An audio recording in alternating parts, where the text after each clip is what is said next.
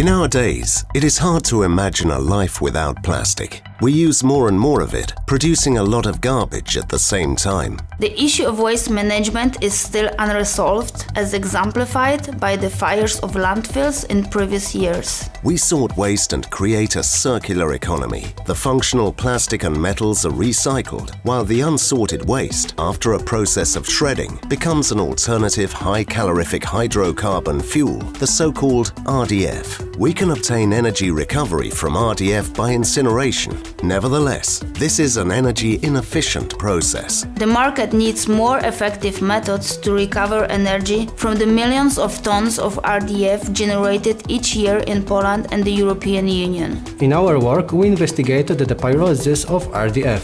In the anaerobic process and under the influence of high temperature, we break down the bonds connecting hydrocarbons into simpler chemical compounds, including hydrogen, and we want to obtain as much hydrogen as possible. possible. Based on our patent, we made a reactor prototype with a capacity of 5 kg of RDF per hour and conducted a series of tests. They showed that our technology produces pure syngas with a composition of up to 50% hydrogen, 40% methane and carbon monoxide, and less than 10% carbon dioxide. A char containing 70% of pure carbon is also produced. Tests of the real reactor and its numerical model have shown that we can build an industrial RDF pyrolysis reactor with a capacity of 200 kg per hour, operating at optimal energy consumption. Our technology solves two problems the management of plastic waste without harmful emissions, and the gain of hydrogen, the fuel of the future.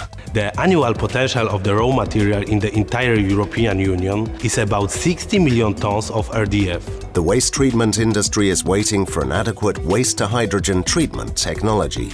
In an innovative installation with an annual capacity of 7,000 tons of RDF, we want to obtain 180 tons of hydrogen. This fuel will allow the hydrogen-powered bus to travel 2 million kilometers. Our team combines the technical potential of Gdańsk scientists, engineers and experience in the production of gas installations. Our plan is free to the power of the free. In the next three years, we want to start up three RDF processing plants and obtain an annual hydrogen production worth 3 million euros. We ask for your support to start processing waste into clean energy thanks to our technology as soon as possible.